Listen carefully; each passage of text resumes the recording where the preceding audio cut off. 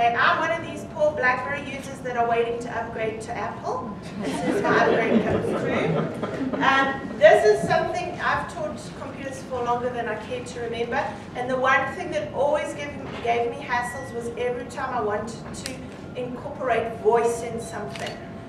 Um, so this year, we decided to use the cell phones um, in their pockets. And each version of a phone has um, some way of taking voice notes. On a BlackBerry, it's called a voice note.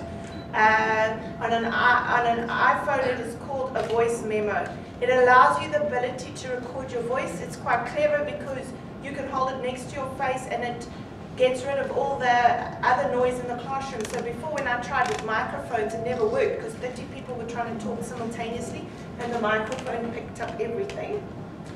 Um, the only trick is that when they come off a BlackBerry, you have to convert them. There's this amazing piece of free software. It's called Format Factory. It works for sound, video files, image files, anything you can think of. You can see them there.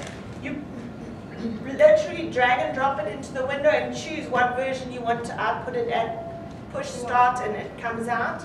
Once you've got it in a version that you like, you can um, use it my kids have used them to put it into Movie Maker, to email their teachers their prepared reading. Um, we recorded the grade four singing their Zulu song this morning. Um, they, you could use it to create sound effects, and you could use it to never have to repeat yourself again. oh, which didn't work. Okay. Sorry, we had to swap that. So, and that is my and it's so easy to use out of all the technologies we've ever used. Wow.